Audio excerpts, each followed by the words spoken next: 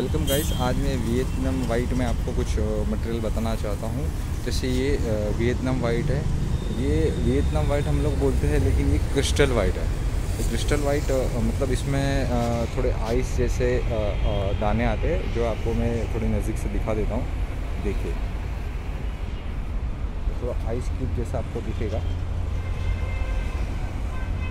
इसकी whiteness whiteness बहुत अच्छी है और ये आप फ्लोरिंग में ले कर सकते हो वॉल क्लाइडिंग में भी आप इसको ले सकते हो।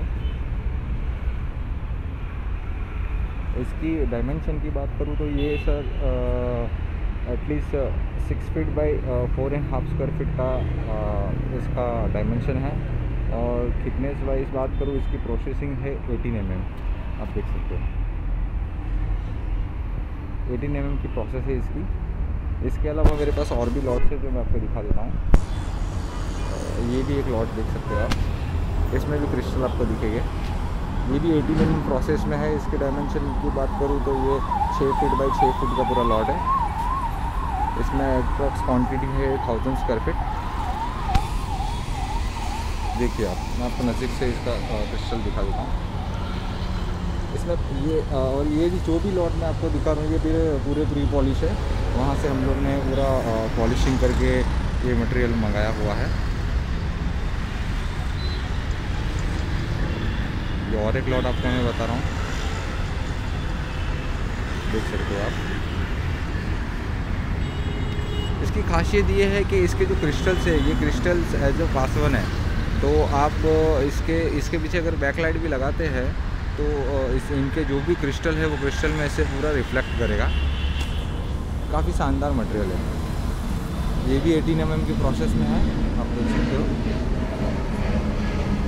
ये भी करीबन 1500 स्क्वायर फीट का पूरा लॉट है।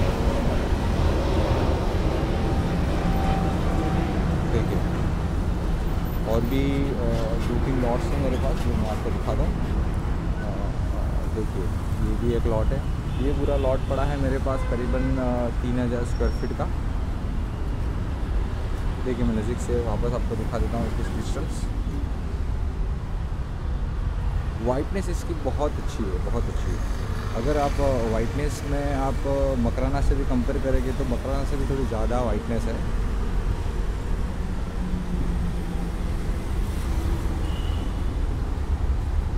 पूरा सुपीरियर लॉट है। और पूरे एक जैसे थिकनेस है एटीन एम में प्रोसेस हुआ है ये। तो वियतनाम वाइट की वियतनाम वाइट के रिगार्डिंग अगर कोई भी आपको इंक्वायरी हो कोई को, कोई भी प्रोजेक्ट वगैरह हो तो आप मुझे कॉल सकते कर सकते हैं।